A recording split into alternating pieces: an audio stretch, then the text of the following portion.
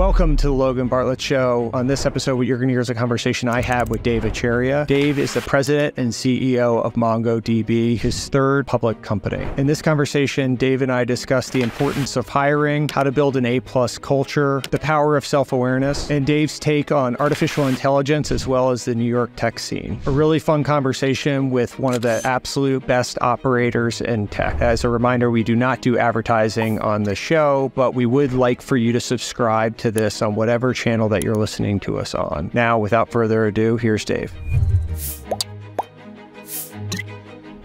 Dave, thanks for doing this. My pleasure. Great to be here. So, I want to start out in the midpoint of, I guess, your professional career, which is you taking the job at MongoDB. So, Mongo today is a juggernaut. I think everyone knows it in the public markets, but at the time of you taking the job, it wasn't quite the juggernaut it is today. Um, what did you see in the business at that time that made you say, hey, this is a job that I want to do? Well, um, first of all, um, whenever you get a call for a CEO role, the first question I you know trained myself to ask is what's wrong because no one makes CEO change when things are going perfectly well. And there were a number, you know, when you uh, help help uh, you know have a successful outcome and make investors money, invariably you get called for other roles. And uh, I typically said no to a bunch of them because uh, problems were quite endemic in the companies that they had asked me to consider leading.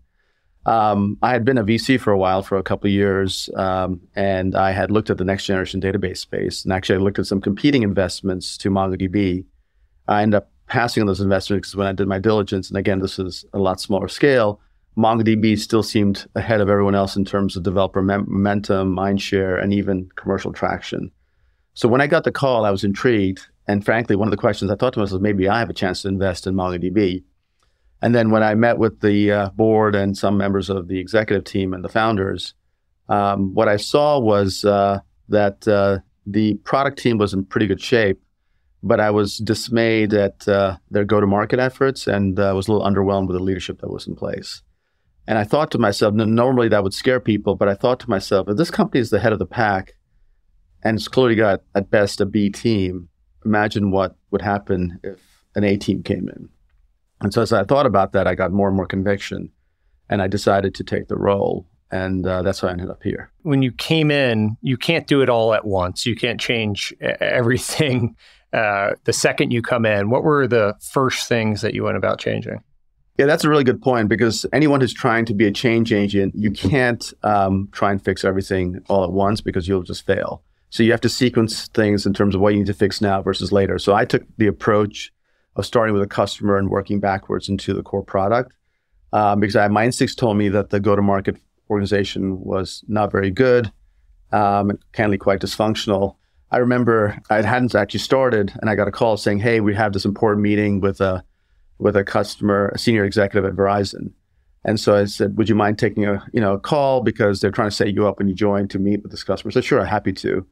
And so I'm on the a call with this account team, and I could tell like uh, the account team didn't really, the, the, leader of the team didn't really have all the facts. So I was starting to ask the rep more and more specific questions.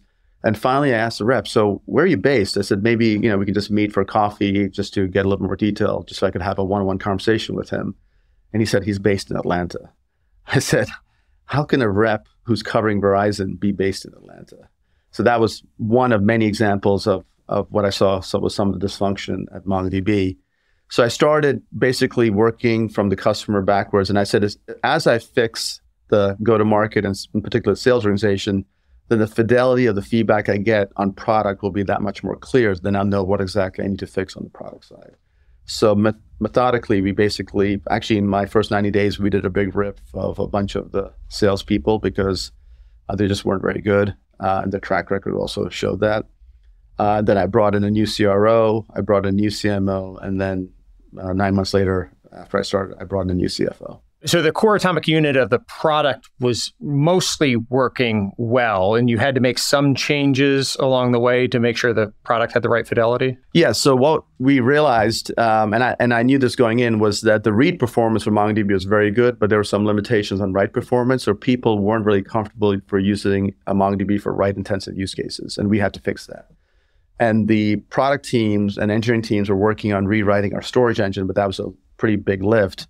And in the middle of this, we got to meet the WiredTiger team, which is a bunch of ex Berkeley DB guys who were very, very sophisticated um, uh, database architects and engineers who had 20 plus years in the industry.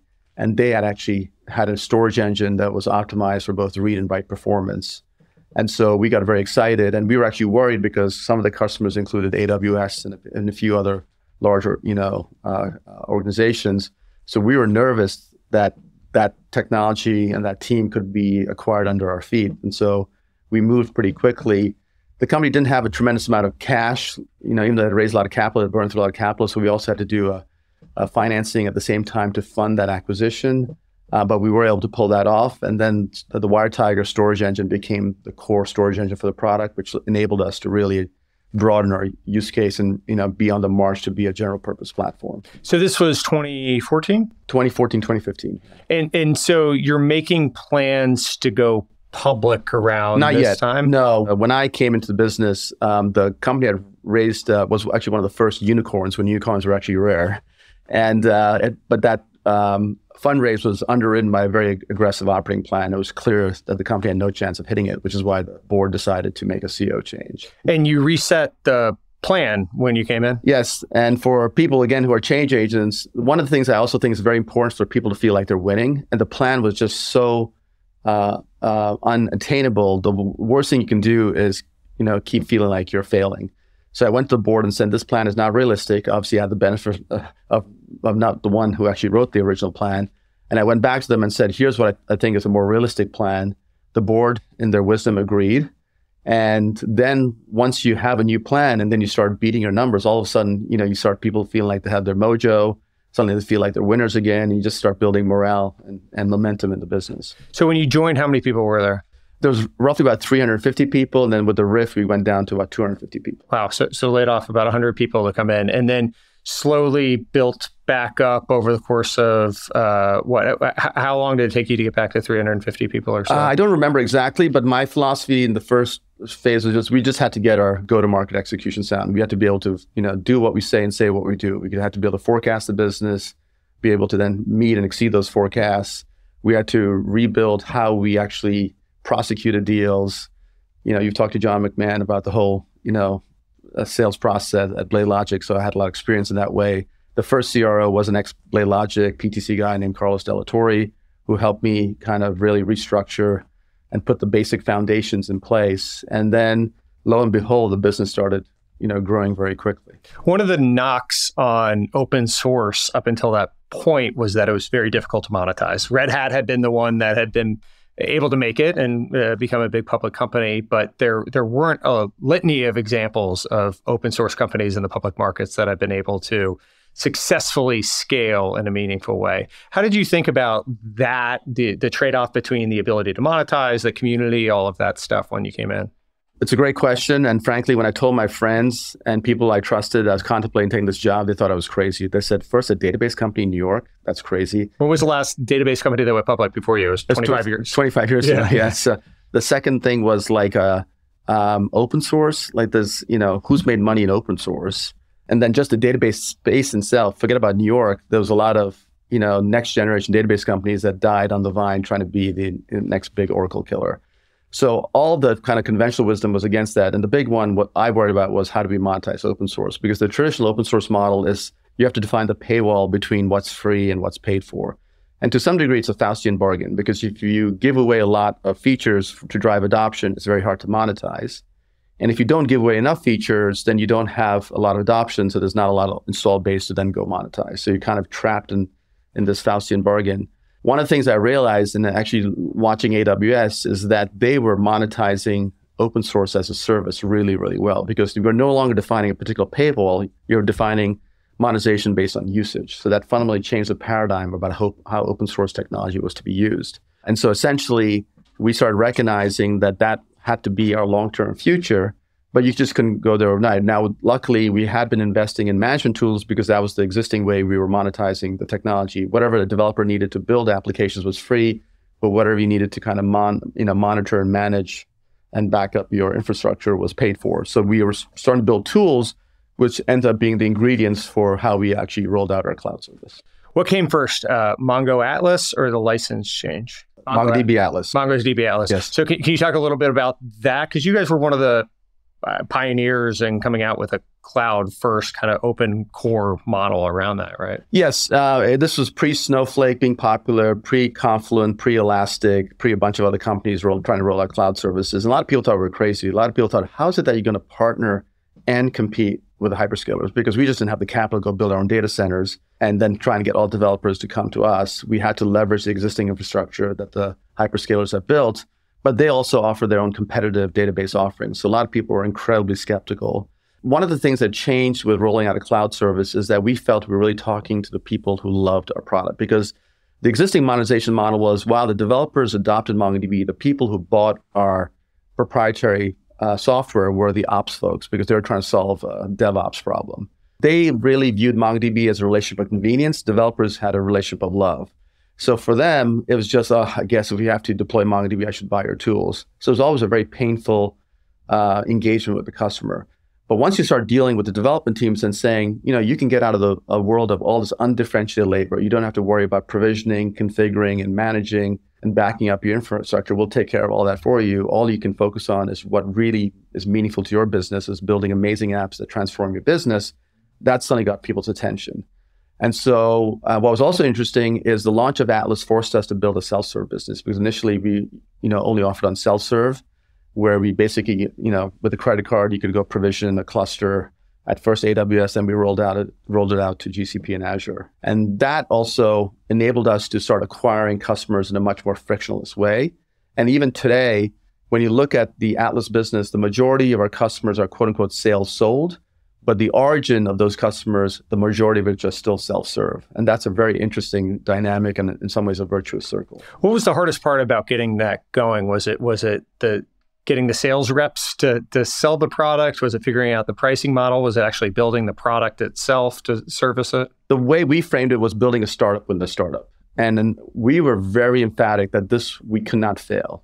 And so from the board on down, this was like a very viewed as a very strategic imperative. And one of the challenges when you're starting something small, you know, when we went public, Atlas was like one or two percent of our business. So the numbers really didn't matter that much. Right. So consequently, it's very easy to ignore this little thing you're trying to do when you focus on the core business. So one of the other things I did was I disproportionately incentivized the exec team on the performance of our Atlas business uh, disproportionately to the scale of the Atlas business because it was so important to make sure that they had mind share. The other thing that we also really focused on was having a clear single-threaded leader who was now was a guy named Sahir Azam, was now a chief product officer.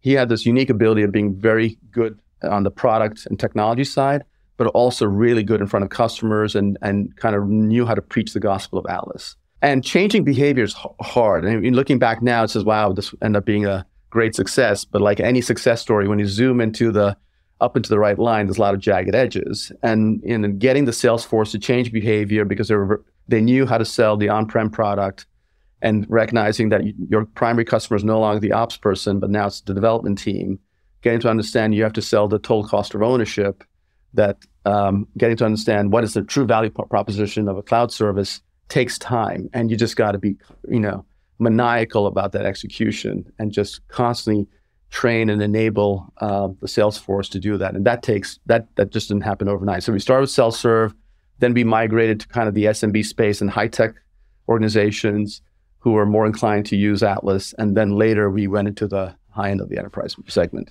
were you spiffing the reps? Because I assume the dollars between each, the long term value of Cloud Atlas and obviously the equity value it's created has been pretty significant. But the dollars up front of selling Mongo on prem, I assume, had to be more. Is that how you kind of did the incentive alignment? Um, it was it- similar in the early days because we paid uh, salespeople on commitments on ACV. Uh, but but over time, we realized that was a mistake with our cloud business because a lot of the apps being rolled on Atlas were new apps. And so customers didn't really know how much would the consumption be, how big would the app grow, how many users would it have, how much data would be consumed. And so there was this a lot of friction to force a customer into a commitment prematurely. So over time, we changed incentives to encourage um, customers just to get on Atlas. And then once they felt like they had clarity on the growth trajectory, then they could come back and get a better discount based on some volume commitment. And we've constantly iterated on that, you know, sales incentive. In fact, now over the last four or five years has changed all the way uh, to where we're all in on consumption, but it started by a more traditional incentive mindset. Were you worried at all about cannibalizing the existing business, or was it clear that this was just going to be the long term future when you came in? There was a little bit of worry, but it was clear like our business wasn't that big that we had this like large install base. I mean, remember, I joined the company when there was about 30 million revenue. When we filed our S1, we were doing a little over 100 million revenue. And so it was not a huge business. And obviously today now we're roughly about a $1.7 billion run rate. That's wild. Now, now the other big change I think that was notable that you guys helped pioneer was a license shift. And so for people that aren't uh, nerds in the open source uh, world, can you maybe talk through the difference between AGPL and SSPL and what was a fairly controversial decision at, at the time and how you went about making that? Right. So um, when you looked at what the cloud providers were doing, um, what, what they were doing was basically taking the free versions of very popular open source projects, uh, MySQL and a bunch of other example, Postgres, et cetera, and basically plugging those technologies into their cloud and offering as a service. And they were making money hand over fist. This it. is Amazon and Microsoft and Google and all of them are correct. And so um, what we were concerned about was that the the hyperscalers or someone else met, might do the same with us. What what people in the industry call strip mining, and AGPL it has more restrictions uh, than say GPL or the Apache license, but there's still some ambiguity in the language. And what we said is we've got the sense is as our success started to take off, we got the sense, you know what, someone's going to try and test how how um, strict this license is. And we didn't want to find ourselves litigating this in court. So we made the decision that we need to come out with our own proprietary license, which adhered to all the principles of open source. You know, you can have access to the source code, you could modify the code, you could obviously distribute the code. But what you couldn't do, or if you decided to do, was to offer MongoDB as a service, you had to open source all the extensions you made to MongoDB as well as all the underlying infrastructure to offer that service. And we said that seems very reasonable because if you choose to do that, you just need to give it back to the community. It was candidly a, quite a contentious discussion. We tried to socialize this and get the OSI, which was the body that approves open source licenses, and they were up in arms and said, "We don't. This, this is not real open source." And a lot of people said, "Oh my God, we might risk our adoption because MongoDB is quite popular, and uh, our adoption might dry up because people will not want to use a non-sanctioned open source product." And I thought about this problem and I thought to myself, if you're a developer in Shanghai or Mumbai or Palo Alto or New York, yes, so long as it, you know, is remain consistent to the open source principles, are you really going to care that much whether or not it's an OSI sanctioned license versus a license that enables you to do what you want to do? But more importantly, the product is the best product to solve the problem that you're trying to address.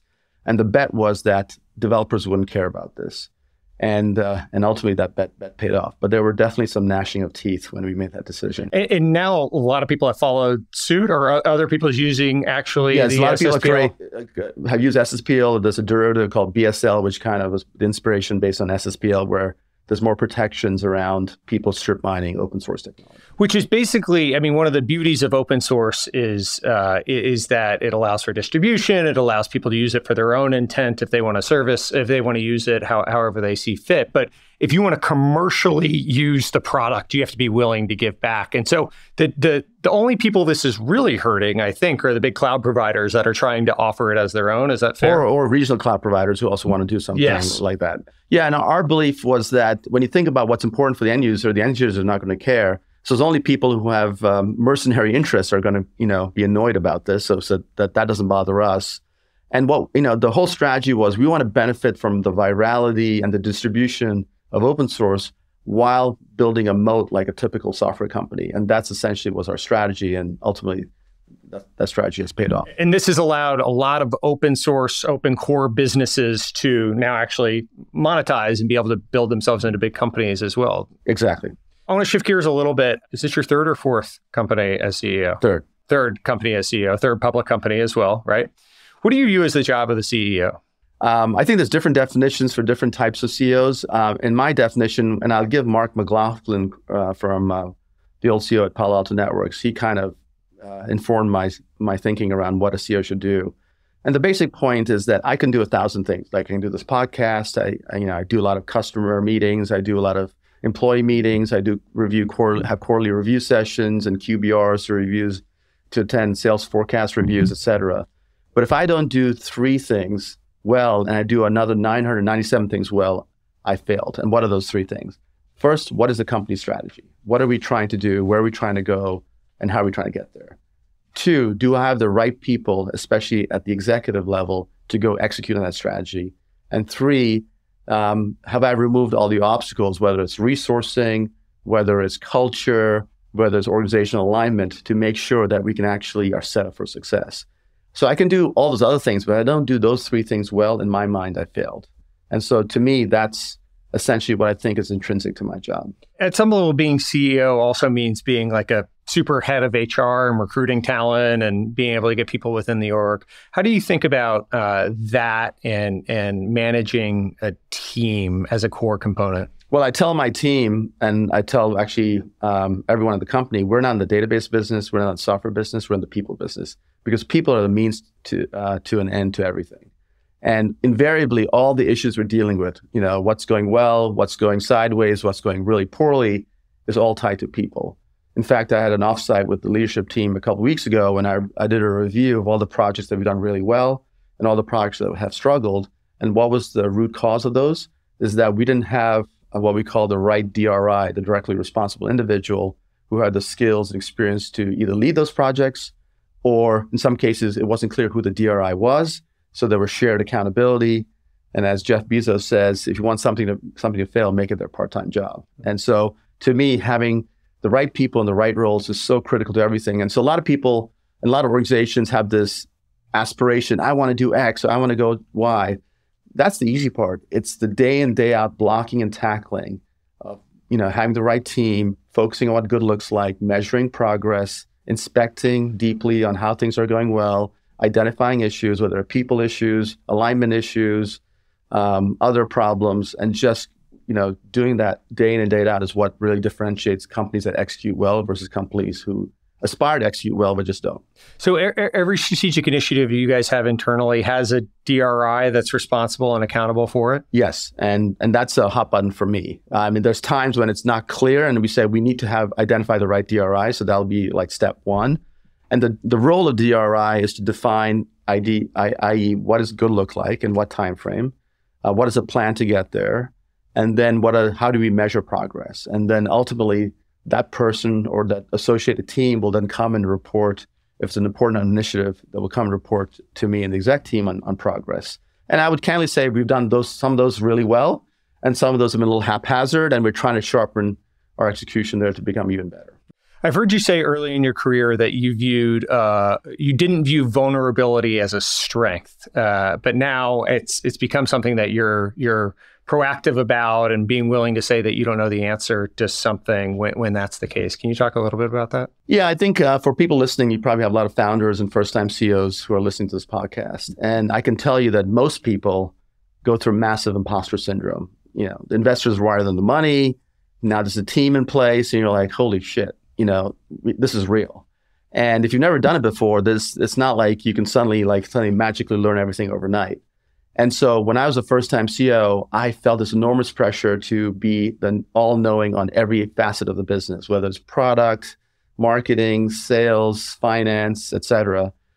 And over time, I, I, realized I was really frustrating my team because I felt like I had to have my imprint on every decision and I would micromanage some decisions or I'd come in over the top and claim credit to decisions that other people had already come up with. And it was getting to be dysfunctional. I could sense that I was not being very effective. I could sense I was frustrating my team. And I had a, an epiphany one day and said, I don't need to ha- have all the answers. What I need to do is one, have the right people around me and be able to ask good questions and make sure that the most important things are being done well. And what's interesting is I also realized like, you know, being in a meeting and and being the village in a meeting is actually very powerful because if I ask a question that some people perceive as a dumb question, like, hey, I don't understand what you're saying, or this doesn't make sense to me, you could see the people in the room just relax and say, thank God Dave asked that question because I had the same question, but I didn't want to look stupid in front of my peers by asking that question. And the problem with um, um, a lot of what holds people back is shame. right? If you think about an innovative culture where people want to you know, experiment, and by definition, it's not an experiment if you, it's a guaranteed success. So some experiments are going to work and some are going to fail. And so if there's a high, Uh, if, if shame is very toxic in your in your culture, then by definition, you're not going to take a lot of risk. And so being more vulnerable is really a strength because it enables people to to really take more risk, talk about real issues, not talk about some, you know, highfalutin stuff, deal with problems as they come, and acknowledge that we don't have all the answers, but together we can, can get those answers. How does that tie into being a student of the game and not a master of the game? So that saying comes into um, a philosophy I have around leadership, which is like, as your leaders, you constantly have to adapt. How I was a CEO at BladeLogic in 2001 and how I am today are two very different people. And I think one of the lessons I've learned, and we've gone through lots of leadership changes here at MongoDB as we scaled from a $30 million business to a $1.7 billion run rate business is that the business needs different styles of leadership at different stages of growth. And, you know, obviously managing 250 people is very different than managing close to 5,000 people. And when I see leaders fail is they don't adapt because they can't. And one of the signals for me on how effective leader is going to be is can they introspect on what's going well, what they're doing well, and also what's not going well. And then can they act on that introspection? A lot of people can do the first part where they can introspect, but a lot of people just can't adapt and evolve their style because they realize the way they were doing things is just not working anymore. I mean, candidly, uh, right after we went public, I had to I parted ways with our CRO, and so that's a pretty, you know, if you think about it, pretty frightening thought. You're a newly minted public company, and a quarter after you go public, you part ways with the CRO, and I became the interim CRO until promoting our existing CRO was Cedric Pech, who was running Europe at the time. And he's done a fabulous job. But one of the reasons is that leaders just can't adapt as the business is growing. And so, uh, and so being a student of the game is meaning that you're very curious and you're also very coachable, right? But you're curious because I want to understand what I'm doing well, what more I need to do, how I need to adapt to different situations, domains, you know, and and experiences. And then have the mindset that I constantly have to learn and grow. How does self awareness tie into that, and also the the Steve Walske two circles point? Yeah, yeah. So, uh, so for those people trying to figure out what that meant, was uh, I remember uh, I was having a discussion with Steve Walske, who was uh, the chairman CEO of PTC, and um, mentor of yours on the board mentor of yours. Yeah. So uh, when I joined, when I started BladeLogic, I had never worked at a software company, and obviously I'd never been a CEO of a software company. So I very was very clear that I had a lot to learn. So I went to my board and said, "Who's the best software CEO in Boston?" And they all said this guy named Steve Walske. They said, "Yeah, but he eats nails for breakfast. Here's the number, but good luck." So I kept pounding the phone either every week or every other week. Finally, he returned my call. I met with him, and for some reason we clicked, and he decided first to be an advisor, then later became a board member, and then ultimately chairman of P- uh, BladeLogic. So one day we're in, you know, having a debate and discussion about a person, and then he he went to the whiteboard and draw two concentric circles, and he says, "Dave, this is the meaning of life. And I looked at those two concentric was like, Target? What's he talking about? And he goes, what he said was, the outer circle is how people believe they really are, who they are. The inner circle is really who they are. And the point he was saying was that people always have an overinflated opinion of themselves. Now it's fine because there's always going to be some gap between your own self perception versus what others perceive of you. But when that gap is really wide, that's when real damage can be done. And um, you know, one of John McMahon, who I've worked with on a couple companies, one of his best lines in terms of assessing how self-aware someone is, is he asks people, "What do you think people say about you when you leave the room?" And the most self-aware people can be quite on point about what acknowledging their strengths and weaknesses. The most self-unaware people have no clue. They just have a completely different picture of who they are. And what I've found is that the best leaders are incredibly self-aware. Why? Because they can read the room they can see what messages are landing, what messages are not, how they have to adapt their style. Maybe eight out of 10 people are bought in, but there's two people who look pretty grumpy or not happy. So he or she knows that they need to go talk to those two people to figure out what's going on with them. And uh, also, also understand their own biases, what triggers them, um, and also um, what they may kind of have uh, blind spots to. And so being self aware is incredibly important to be an effective leader. Hey guys, Rashad here. I'm the producer of The Logan Bartlett Show and wanted to take a quick second to make an ask. We are close to 10,000 subscribers and are trying to get there by the end of the year. If you're enjoying this conversation and these episodes, please consider subscribing to the YouTube channel. Now back to the show. I've heard from people that you work with, and even in prep for this, that you all have built a very transparent culture here. How, how, do you go about building transparency within the culture and honesty and all of that? I think it's also tied to vulnerability. One of my pet peeves. I started off my career at, at a larger company. I, started, I came out of engineering school. I went to AT&T and uh, Bell Labs division, and AT&T had some amazing people, but what, the culture there was very passive aggressive, and it's quite endemic. When BladeLogic got acquired by BMC, the culture there was very passive aggressive. And to me, passive aggressiveness is a form of duplicity. You know, imagine you're in a meeting, the senior leader is running the meeting, you're they're debating and discussing a topic. The senior says, "I think we should do this," and everyone nods politely and say, "Yes, that's the right thing to do." The meeting ends, everyone walks out of the the uh, conference room, and then they roll their eyes and say, "That'll never work." That to me is a form of passive aggressiveness. Like I want to create a culture where we can have fierce conversations and debates constructively about what to do or what not to do, but at the end of the day, the best idea wins, not the most senior leader's idea wins, right? And that is amazing because it creates a culture of meritocracy. So no matter who you are, if you have, you know, an insight that you think is incredibly valuable, you should feel comfortable sharing it. And and and people will buy in if they think that that idea has merit. And so um, so that's super important. And also transparency also means talking about the bad stuff a lot of companies, and actually when I got here, the joke was the management team before me would only talk about good things, would never talk about bad things.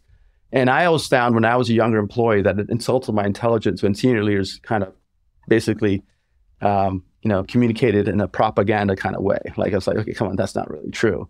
And I think most people can see right through you. And so I always felt it's really important to build credibility is to really talk about both what's going well and what the real issues and problems are in the business and how we're going to talk about them. Because once, what was interesting, and I do that with the board as well, and I mentor younger CEOs saying, when you tell an experienced board member that everything is going fabulously well, they either will immediately think one of two things. Either you don't know what you don't know, or you're lying to them. Because every company, even the best run companies, have something blowing up somewhere. Right. And so I start my meetings always talking about problems. Here's the issues and challenges I'm struggling with. Here's what's going on, team dynamics. Here's you know people I'm worried about. Um, you know, when the team comes in, this is where I encourage you to probe, blah, blah, blah. And what's interesting is the more um, my commitment to the board is they should, will typically never hear any bad news. Uh, you know, um, they'll typically hear bad news from me first. What it does is it disarms the board because the board never feels like I'm trying to hide information and then they're leaning in to help me. And in fact, the board has commented, I give them a lot of access to people multiple levels below me. So I have teams come in based on, say, we're talking about a particular project or a particular function. So they love that they have visibility many levels, layers into the organization. For you know, one more transparency. Two, they can see the, the depth of our bench and get a sense of you know the culture that we have. And I find that incredibly powerful. Hmm. I spoke to one of your former board members, and he said that uh, you are one of the best people he's ever worked with on doing what you say you're going to do and holding people accountable so that they actually execute on whatever said is actually going to be done. How do you go about building a culture of accountability and actually making sure people follow through on what they say they're going to do? Um, this is tied to something else. I always believe bad news travels very slowly up the organization, but very quickly down the organization. Good news will find me anywhere. I could be in a beach in the south of France. I could be in, in Hawaii or Tahiti, and good news will find me. And but bad news I have to go looking for. And so whenever I hear bad news, I assume, immediately assume two things. One, uh, I'm the last to know, and two, it's far worse than what people are telling me because invariably people always modify or shave a little bit of the truth to be a little bit more diplomatic. And in you know, and a simple example would be um, you have you have a customer who's threatening to throw you out. The sales team tells there is the sales manager. We have a problem at Acme Company. You know, over multiple layers. The way it comes to me is that we're dealing we're dealing with a slight problem at Acme Company, but then two months later the customer churns, and you're like, how the heck did that happen? Now we don't do that here, but that's an example of what happens in most companies. So we try to really encourage sharing of bad news, and we try uh, not to shoot the messenger. Sometimes we're, you know, some people are not good at that, but that's really important because you can't get people to share bad news. They feel like they're going to get punished for it. And then what that also does is that it, it elevates problems quickly. And I always believe that people don't perform always perform, perform to what you expect, they perform to what you inspect. So if you have a high culture of inspection, how is this project going? What's happening in the forecast? What's happening with that person? What's happening with that team?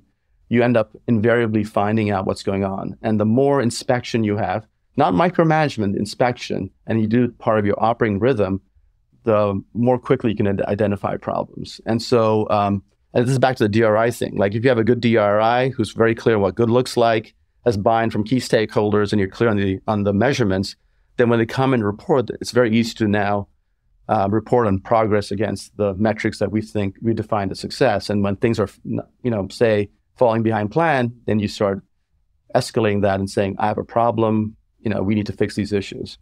Feedback loops, keeping those very tight. It's super important with uh, companies in general, but certainly fast growing companies so that you, you, can be held accountable to what you say you're going to do and also be able to iterate pretty quickly. How do you go about keeping uh, feedback loops tight within Mongo? I think feedback is a gift. I think in every facet of life, feedback's important, whether it's feedback in your personal life, if your partner's annoyed at you, you want to hear that feedback because then you don't know what's irritating or upsetting them.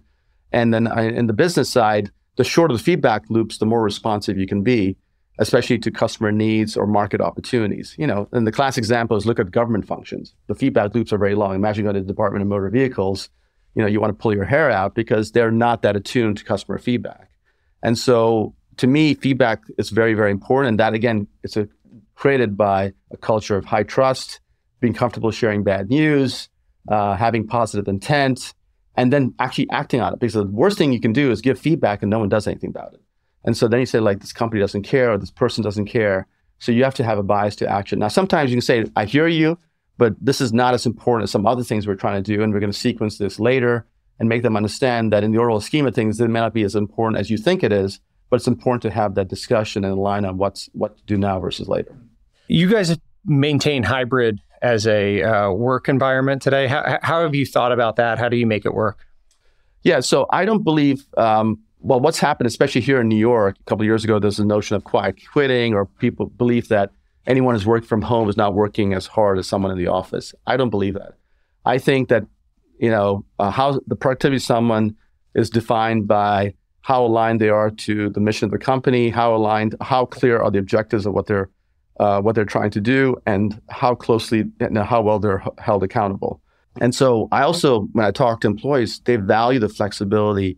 You know, in a world where the boundaries of when work stops and when your private life, eh, you know, begins in the day is now blurred, right? So people value. I had a employee tell me the most important part of my day is being able to pick up my child from school. Uh, that's a very important moment for me. But this person works incredibly hard and is, is a high performer. But but that flexibility, you know, makes her much more committed to MongoDB because she has that flexibility to be there. Other people love the fact that, hey, in the middle of the day, I've got to go see a, the dentist or have a doctor appointment or take care of an errand. Now, we do also believe in the importance of in-person meetings, but I think, uh, you know, it's not like people are talking to each other every minute of the day. There's times of this burst of activity, and then you come in to calibrate whether it's a QBR, a planning session, you're kicking off a project or you're coming in and assessing the state of the project. So I don't think you need to be in the office four or five days a week. I think the toothpaste is out of the tube with the pandemic. And I think uh, it's imp- the way you hold people accountable is through their leadership. And if you have a high bar and high standards, you can still drive high productivity even if people are working at home or in the office. We touched on you did a, a RIF when you first got to MongoDB, but uh, but during the pandemic and when when everything kind of reverted back uh, over the course of as interest rates went up, you did not do a broad based RIF. Uh, and I think philosophically, you're against RIFs in, in, general, not for some moral reason, but because it masks a bunch of performance and management related uh, considerations. yeah, that's important. That? Um, I think um, I think RIFs have a place if there's suddenly some structural cost structure problem you have in the business. Imagine if 50% of your customers disappeared overnight. There's no amount of performance management that can right size the business quickly, and you have to make some hard decisions. But I, the reason I am allergic to RIFs in general is because uh, to me, and it happened here at MongoDB, when we got a sense in um, uh, 2022 uh, that the world was changing and uh, you know and and things were going to become very different, a lot of people came to me and said, "Why don't you just do a RIF?" You know, that'll be so easy to do that, and we're, you know, we'll, we'll, we'll be all good, and it'll probably be even more quick and more efficient than just doing this performance management process. And what I said to them is that, but they're not teaching anyone any muscles, right? And we're not teaching people. One of the biggest weaknesses of new managers and even existing managers is knowing how to hold people accountable. And I have a three-step process on how how to hold people accountable. But we, I'll tell you that later if you're interested. But we want to develop the muscles of knowing how to hold people accountable. And what was interesting is that I had people who came up to me after the process and said, you know what, Dev? It was surprisingly easy to find the bottom 5%. And I said, what did that tell you? It said that either we hired the wrong people or we didn't develop them, but we clearly had a problem. And and it was the impetus of me pushing you is you caused you to deal with that problem. You weren't dealing with that problem proactively. And that there in itself there in itself is a problem. And we need to be much more proactive in dealing with performance issues because the best people get very frustrated when they work with people who are either not as committed or not as competent as them because now you're actually penalizing all the good people who are working hard to cover for the people who are not producing at the rate they should be. Now I want to hear your three steps for holding people accountable. Yeah. So the the first step is you got to be very clear on what you want, right? Um, and so you know, for project, for the role, um, in this period, whatever, you got to be very clear. Here are my expectations. And so a simple example would be, say, um, I expect um, you you to send me a report every Friday on the week's activities. I'll just make a trivial example. And the first Friday, you don't send it to me, and then I see you on Monday. and say, "Hey, where, uh, Logan? Where's that report?" He goes, "Oh yeah, I forgot about it. Um, I'll get it to you." And, I'll, and then you send it to me, and I go to you and say, "Logan, listen, I may not have been clear why that's important to me, but I use those reports to really understand what's going on in the business. You, you and your team play a really critical role, and it's not just make up work. This is really important to me. So the, what I'm really doing is I'm making the prom. That was my fault in not clearing, making clear to you what the importance was for why I'm asking you to do this. And then I said, now are you clear, Logan? Do, does everything make sense? And you go, yes, I got it. Now the next time you forget to send me that report, now I can hold you accountable. So you can't hold someone accountable if you don't do steps one and steps two. So most people get terrified of holding people accountable because one, they're not clear on what they want, and they've not been giving clear feedback on when there's been missteps. And when you don't give feedback, you're basically sending message not just to Logan, but to everyone else. You know, what I want is not really that important. There's not a really culture of discipline. I am okay to let people cut corners. And that by itself is sending a message that maybe this is not as a high performance organization as it is. And so going to that three step process, at least for me, makes it much more easy to, to hold people accountable. Hmm. I've heard you say that recruiting is like pipeline management. Once you stop it, even for a bit, it dries up. How much of your time do you spend recruiting today? Uh, today, not as much. Obviously, for senior level recruiting, I, I, spent a lot of time. We just hired a new CTO, so I was obviously intimately involved in that recruiting process. Um, and I was pleased that I actually beat my own ambitious goal by a month. But uh, that's a different subject. But uh, um, obviously, recruiting, it all starts with recruiting. And um, um, if you can't hire the best people, then nothing else really matters. In my mind, um, a leader has to do, essentially do three things. One is recruit the best team possible. Two, develop them to get them to do what you want them to do. And three, make, make sure they consistently meet and exceed their commitments, right? So recruit, develop, and execute. But it all starts with recruiting. And, and you know, I think McMahon has said this before if you hire mediocre people but do a great job in development and really maniacally focus on execution, you'll still have a mediocre outcome. If you hire great people and do an okay job in development, an okay job in inspection, you can still have a pretty good outcome. So it all starts with recruiting. Um, the point about the pipeline is that, um, like a sales pipeline, a recruiting pipeline dries up pretty quickly. So you're talking to candidates, you're screening candidates, but then if you say, you know what, I'm not going to um, um, put focus on recruiting, those candidates will slowly wither away and go somewhere else. So then you say, oh my God, I need to hire 100 people next quarter. You can't suddenly like magically produce 100 candidates, 100 qualified candidates very quickly. So constantly being in the market and talking to people, even if you don't have roles to fill, and getting a sense of who's great, who's out there, um, you know, selling the message and the value proposition among MongoDB is important for us because we're planting seeds Sometimes we need to harvest those seeds very quickly. Sometimes we're planting seeds because we know in the future we, we will want those people to consider joining us. One of the things I heard you say in your interview process is that you inspect how thoughtful everyone was in switching between jobs. Why, why is that important? How do you go about thinking about it?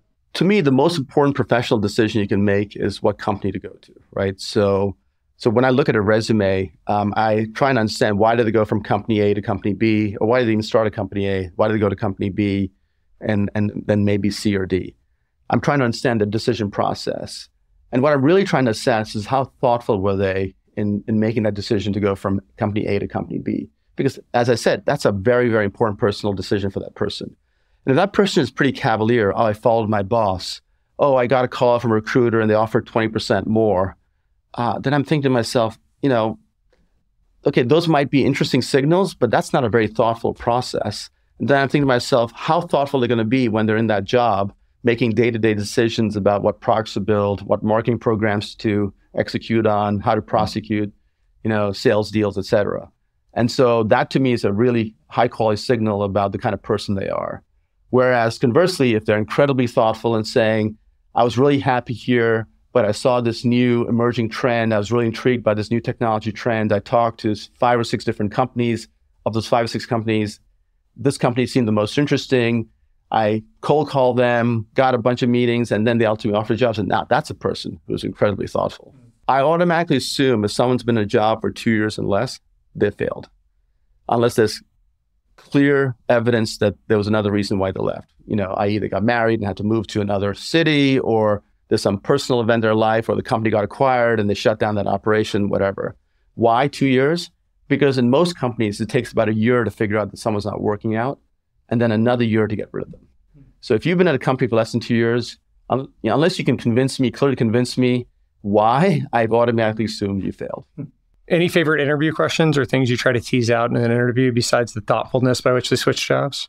Um, yeah, I would say um, understanding um, both why they switch jobs. The other thing I like to probe on is give me an example of something you're really proud of. You know, what is what is a really proud accomplishment? And they'll tell me they closed this deal, they got this product out the door, blah blah blah. Then I'll start drilling in and tell me more and go into excruciating detail. And if they have the details at their fingertips, that tells me they were directly involved. If they were like a tertiary team member of some project that was successful at that company, then very quickly I can figure out that they weren't really involved, but they were just, you know, trying to um, essentially get credit for that, you know, that project or that initiative that the company undertook. So that tells me again how how intimately involved they, they were in those, in, in quote unquote, their most proudest moment, right? If it's your most proudest moment, it's got to be something that you should be directly and intimately aware of. If a job opens up internally and you have an internal candidate uh, versus an external candidate, obviously you have a disproportionate amount of information about the person you've worked with in the past and you're comparing them to someone externally. How do you think about evaluating those two people for the job? And how do you think about uh, discounting or maybe factoring in how much you know about the internal candidate versus the external one? Yeah. So just stepping back, I was and with the thing I've said here at MongoDB and I said at BladeLogic was I want people to come here to build a career, not to come here for a job. But the problem here's the problem that most leaders run into is that they have their own existing team. Now they have a job opening. You know, Joe or Sally are, are interested in that job, but you have a very nuanced opinion of them because you see what they're good at, but you also see some of the things that maybe they're not so good at in some of the wards. But it's a very nuanced perspective on, on Joe and Sally. Meanwhile, John shows up with a pristine resume, you know, comes in, presents the best sense of him, uh, of, of himself. Um, and now all of a sudden you're like, wow, John's got all this credentials, he's got this track record, he's got all these results. Maybe I should hire John. What happens is you end up hiring John because you have an asymmetry information. You only see the good stuff about John, but you have a much more nuanced view of Sally and Joe. And then six months later, you realize, well, you know, John can't, doesn't walk on water either. He's got things that he's good at, and he's got things that he doesn't good at. But what you've done is now you've demotivated Sally and, and Joe. And now all of a sudden they say, maybe this is not the place for me. Now all of a sudden they say, maybe I should contemplate going somewhere else. So I'm not suggesting that you never hire from the outside. Of course, we've hired from the outside, but you want to make sure your people inside the company, especially the people who are performing, are given a fair shot for growth opportunities. You, what you also don't want to do is just have blind spots and say, I'm only going to you know, promote someone internally. You want to make sure that you assess the talent pool in the marketplace and that to me is the best way to really make the right decisions for the business. But ideally, if push comes to shove, I'd much rather promote within because it creates a meritocracy, you retain the culture, and you basically know what you're getting far better than anyone from the outside in a fast growing company, uh, the, the slope of the business oftentimes will outpace the slope of the individual in that role. How do you make decisions about if someone's been good for up to that point in time, but it is time to maybe move on and bring on someone from the outside? How do you think about the, that, that balance and trade off? So, my philosophy on that is you can usually fool the people above you, you can sometimes fool the people around you, you can never fool the people below you. And the biggest tell for me if a leader is not scaling is how frustrated is their team becoming? Are good people starting to leave? Is the quality of the new people that the leaders recruiting is now no longer A's, but now like B's and B minuses and C's? That to me is a huge tell about whether not a leader is scaling. Because the people who work for you clearly know how effective you are, clearly know the quality of decisions you're making, clearly know if you're being a hindrance or an asset in terms of enabling them to get their jobs done. And so that will show up very quickly to them. And so that to me is the best tell. And in fact, when I joined MongoDB, one of the first things I did was review all the organizations and I tried to understand, you know, who was in these teams, what the level of turnover was, and uh, the quality of the people in those teams. And that gave me a great map about where the problems were in the organization. And that also informed my decision of where to focus 1st mm-hmm. And I think that just remains. And and um, it may seem awkward to say this, but we've gone through many leadership transitions. I've been through three CMOs. I've been through two two CFOs. I've been through three CROs. I've been to uh, two chief product officers. Um, I've been through three CTOs, and this is just a function of the business scaling very quickly. But not everyone scales at the same rate. Now, now some people left on their own volition; they were tired and they you know want to take some time off. But in many cases, the people just couldn't scale to the next level. Now, your parents gave you two options professionally. You could either be an engineer or a doctor, right? And ultimately, you found your way uh, finding religion in sales as well. How, how, did you discover sales as something that you you had passion for? And what would you tell the CEOs that maybe view it as a, black art or something unbecoming?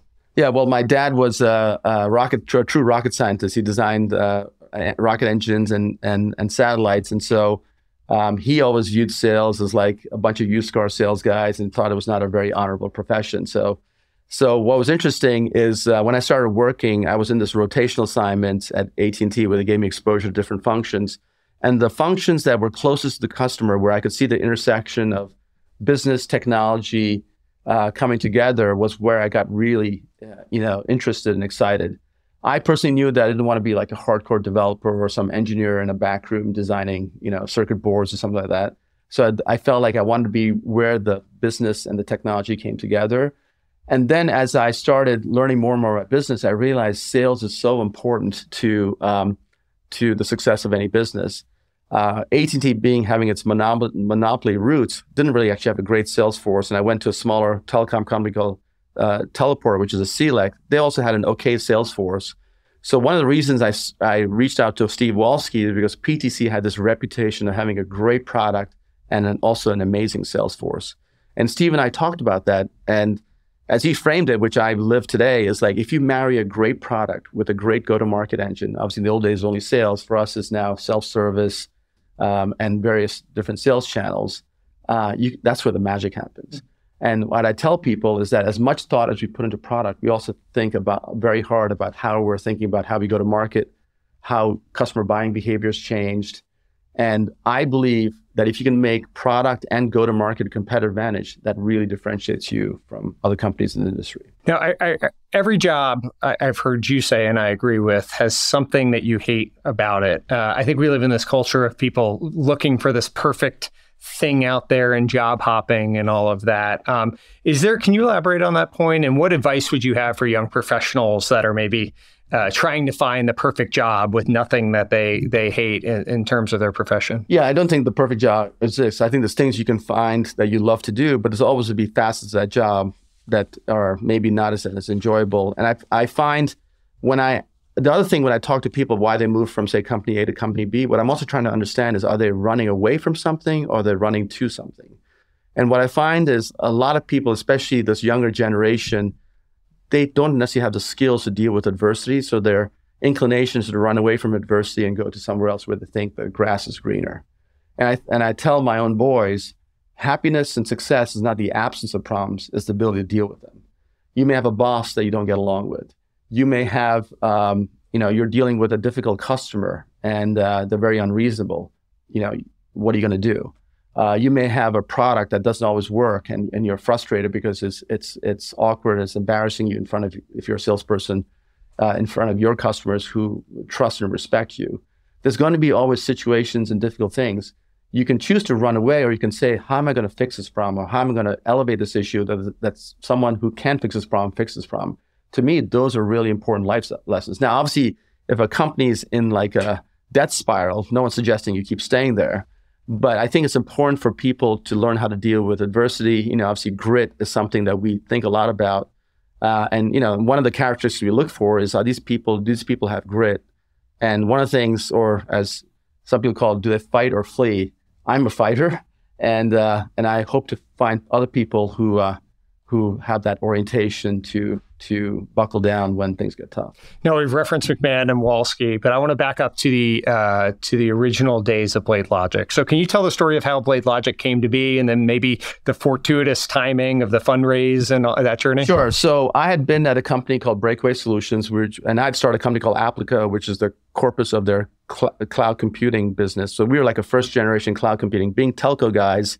We called ourselves application service provider. So it was a very sexy term. Yes. And being telco guys, we thought it was all about the sophistication of the network, not anything to do with the application. So while Benioff was launching Salesforce and thinking about a radically new multi-tenant architecture, we were thinking about it's all about the network. And, and because we were, we were data broadband networking guys, the network could solve the whole problem. Obviously, we were wrong. Um, we ended up taking that company public, and then um, 70% of our customers were dot coms. And then obviously we saw the rise and fall of the first bu- bubble. What was the peak market cap of that? Uh, about five billion. Wow. and so um, that being said, we were we had um, essentially like 11 data centers around the world. They were colo sites, but we were provisioning and managing all the infrastructure. And as the business was scaling, I was constantly tr- throwing people at that problem to provision, manage infrastructure because with the first generation of internet architecture, the complexity was moving from the desktop to the back end with thin clients. And um, and I was like shocked. So when things started getting tougher, I said, "There's got to be tools to automate this because we just can't keep throwing people at the problem." And I was shocked to find out that there were no tools. Most of the tools were desktop tools that just didn't really work in a server-oriented world. So then um, I left Breakaway. I actually ended up being an EIR at Bessemer, and I kind of worked on this idea. And my co-founder was an EIR at Battery, and we both decided to work together. We basically worked on this idea, and we and that was the corpus of starting BladeLogic was coming out with a new server-based orientation to provision and configure servers in data centers. And so this was in the summer of 2001, and you know we had done a bunch of market research, and obviously the bubble had just burst, so investors were quite skittish about like funding new companies because they were just dealing with the trauma of all the, all the companies that were basically struggling. So the, the bar was quite high, and the valuations were were not great. So it was quite expensive to raise capital. We ended up raising our first round five days before 9-11. Oh. So you probably would not be talking to me today if I'd waited five days longer, right? Because that deal probably would have fallen apart. Neeraj Agrawal wrote a blog post, Who Let the Servers Out? Uh, after the Baha Men, Who Let the Dogs Out? I think it's still somewhere on the internet if you can uh, Yeah. if you can dig it up. But going through that journey, you guys competed head to head with with Opsware, which uh, for for people that don't know was run by Ben Horowitz. Um, and there was And Mark Andreessen. and Mark Andreessen, and it was a legendary uh, uh, battle, I would say. Uh, that that I don't know if there's anything that's even quite like it today of of the culture. And and you had John McMahon, they have Mark Cranney. It was a very Well, it's, it's interesting. So actually, so I competed with Loudcloud, which was the first version of Opsware when I was running, you know, at Breakaway. Oh, right. So, so they were another cloud computing company, and then they decided to repurpose their software provisioning tool into a software company, where I decided to start from a clean sheet of paper. Hmm. Um, and by definition, I felt we always had the better product. But Mark and Ben are great marketeers, and so what was interesting is that. Um, uh, they had a flagship account in EDS, and then they started trying to go after other customers, but they kept running into us, and we were beating them everywhere. So they realized, you know, what are these BladeLogic guys doing that you know we just don't know? And they realized we had a PTC guy running. Actually, it was wasn't McMahon then; it was a guy named Steve Strahan, who was another PTC guy. So. Uh, um, so then they decided to uh, um, basically follow the same playbook. They actually did reach out to John, uh, but they ended up hiring a guy named Mark Cranney, uh, who also kind of took the PTC playbook. And at the same time, Steve Trahan, again, another example of who did great work in the beginning, but then I realized wasn't scaling to the next level. That's when I recruited John. And so, yes, it ended up being two PTC sales guys running two very aggressive sales teams going after the market. And, uh, you know, obviously, um, Mark and Ben ultimately sold out to uh, um, HP. Uh, and then we ultimately got bought a year later um, by BMC Software. and got bought what right before Lehman collapsed. You sort of Yes, bookended so- both crises. Yeah, so the day we uh, closed our deal um, was the day, um, uh, JP Morgan bought Bear Stearns for three bucks a share. And the culture of Blades Logic, the sales culture, like the number of people that have come through there, I mean, not just Mongo, but but Datadog and Snowflake and Okta, and we can sort of go down the list of, of other people that are Zscaler uh, that power enterprise selling in Silicon Valley. Did you recognize at the time how talented the sales folks you you had within the organization were, or is it sort of a fish in water and you didn't totally like these were just the people around no, you? I, I consciously wanted to build. I remember I, I believed in Walske's philosophy that if you marry a great product with great distribution, that's when the magic happens. So I was very conscious, which is why I ended up chasing after McMahon because he was already even then a legend and, and saying, "Would you consider joining um, uh, BladeLogic?" And some people were actually shocked that I was able to get him. Um, and then I would say the credit goes all to John because the, the what John makes what makes John really unique is I think one he's an amazing listener. Um, you know, if you talk to people when he interviews people, people feel like they, he looks into their soul. Second thing, he's a fabulous recruiter, so his eye for talent is off the charts. So that's why the team was so good because he could really pick out the best people, even if people with limited track records, but figure out they had something really special about them. Third, he's an, an incredible developer of talent. So it's not just recruiting them, but constantly train them. And John and I would work together. What do we? What does the sales floor need to learn? You know, this quarter versus next. Some of them would be sales specific issues. Other would be product and market issues. How to differentiate, uh, you know, BladeLogic versus Opsware and other, all the other tools out there. So developing talent was something that he, that was he was really good at, and then he was maniacal in execution. And so again, recruit, develop, and execute, right? And John was a plus on all those categories. Now, what about Walske as a mentor? How did he influence you? And uh, yeah, why was he so good for you along the way? Um, so Walske, um, I you know I I give him a lot of credit for informing my leadership philosophy, he, um, all the way from product and go to market and bring the two together. How to think about like leadership, how to think about like fundraising, how to think about like managing the board. Um, you know, was so because as a first-time board member, it, this was all new to me, and you just can't learn that quickly on the job. Now there's a lot more data. You know, in those days the data was quite sparse, and so you really had to talk to people. So I do encourage first-time founders, you know, whether or not you have a board member or not, but find mentors who you can talk to because the CEO role is a very lonely job, right? Because everyone's advocating for something. It could be your team, and not that they're they're being malicious, but they're advocating things that are important to them.